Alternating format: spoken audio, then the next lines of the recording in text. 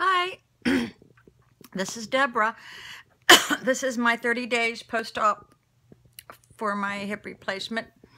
Um, I've had to do this video over, this will be the third time. Um, I have no pain at all. The only time I do have some pain is when I'm carrying up groceries up some stairs. Ignore my blue hair. I did a video on this blue hair. Can you see it? Oh my God, you don't want to make that mistake, but whatever. Hopefully I'll fix that tonight. But um, I was very skeptical about having this operation. I'm almost 62, but I didn't have a choice. The pain was that bad.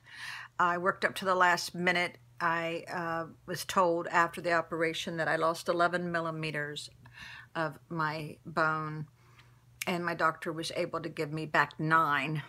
I don't know how he did that. But um, I consider it a miracle. I have no pain. I got a new lease on life. Um, so, anybody contemplating this, if your pain is that bad, go for it. Uh, I, I had no idea what was wrong with me. I thought it was something about my spinal fusion that I had in 2009. So I went to my my uh, neurosurgeon. He said, no, your fusion is fine. Your six screws are intact.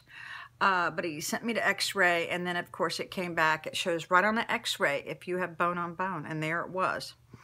So I highly advise you to get an x-ray because that tells uh, you know the whole story. My left hip is perfect but my right hip for some reason is just totally just gone. But uh, I'm on Tylenol now. I'm off pain meds. Been driving for two weeks.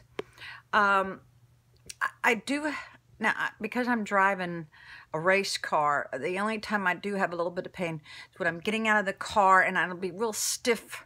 If I've been driving for like over an hour, I'll be a little stiff. But I just walk it out. Uh, so I have no restrictions. All right. Bye.